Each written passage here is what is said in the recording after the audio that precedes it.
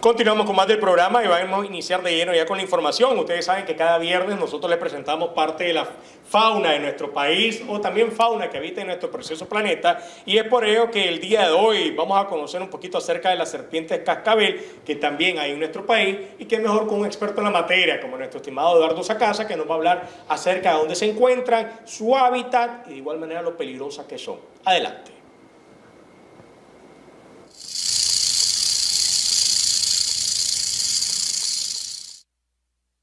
La serpiente de cascabel también se le conoce como víboras de fosetas y pertenecen a la familia de los vipéridos y son endémicas del continente americano.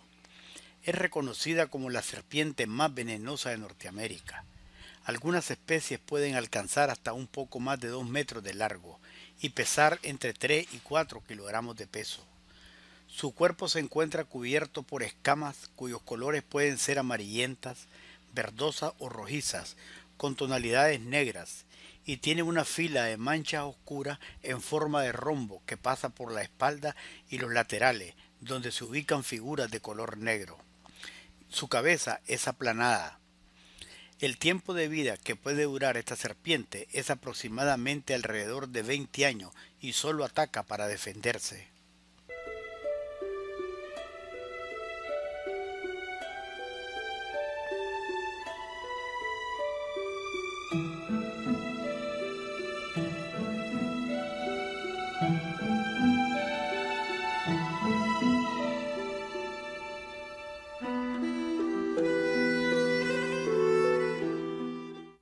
Estas serpientes, por ser de sangre fría, las encontramos en zonas cálidas como desiertos, bosques tropicales, escondidas dentro de las rocas, bosques arenosos, secos y en zonas costeras.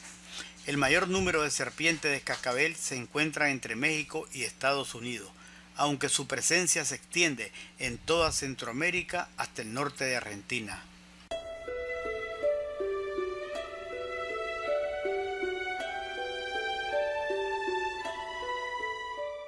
La función del cascabel o chichil, como también se le conoce, cumple dos propósitos principales.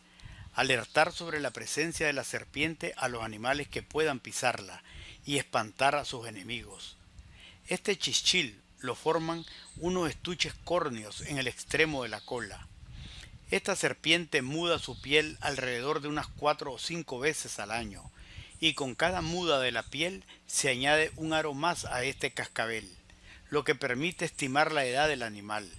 Sin embargo, este método no es tan confiable ya que el cascabel de la serpiente puede ser muy largo y en ocasiones se puede romper, perdiendo así la cuenta de la edad. Cuando agitan la extremidad, las capas chocan entre ellas, causando el ruido característico del conocido chichil.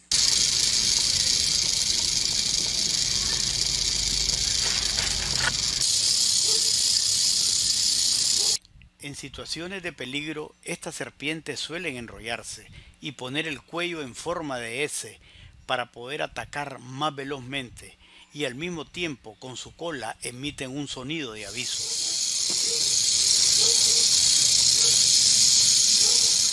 La alimentación de la serpiente de cascabel se basa en animales vertebrados, pero también incluyen a invertebrados en su dieta.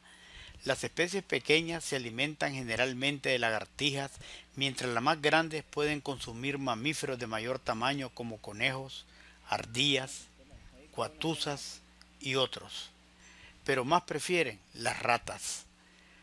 Normalmente sale en busca de alimento al caer la noche, y su técnica consiste en inyectar el veneno y esperar pacientemente su efecto paralizante, y por medio de las articulaciones en su mandíbula, igual que el resto de serpiente, es capaz de tragar una pieza entera.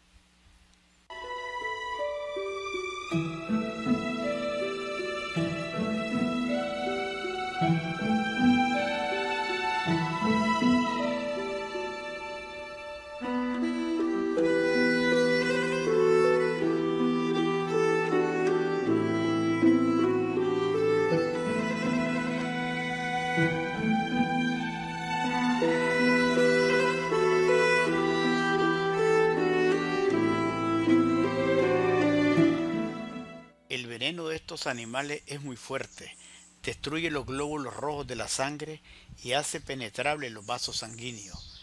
Así afecta al tejido corporal y a la circulación. Para los humanos, los síntomas de la toxina incluye dolor intenso en la zona infectada, inflamación y necrosis. En el peor de los casos, el líquido puede llegar al torrente sanguíneo y causar una muerte instantánea. Las mordeduras de la serpiente cascabel duelen inmediatamente y los daños son muy grandes como lo podemos observar. Los síntomas por general comienzan enseguida y pueden abarcar sangrado, dificultad respiratoria, visión borrosa, presión arterial baja, dolor en el sitio de la picadura, parálisis, pulso rápido, hinchazón, cambio en el color de la piel, cansancio, debilidad, hormigueo, y otros más. Entre sus depredadores naturales se encuentran las águilas, coyotes, tejones, lechuzas, búhos reales y otros. Pero como siempre, el hombre es el mayor depredador, porque si la ve, lo primero que hace es matarla.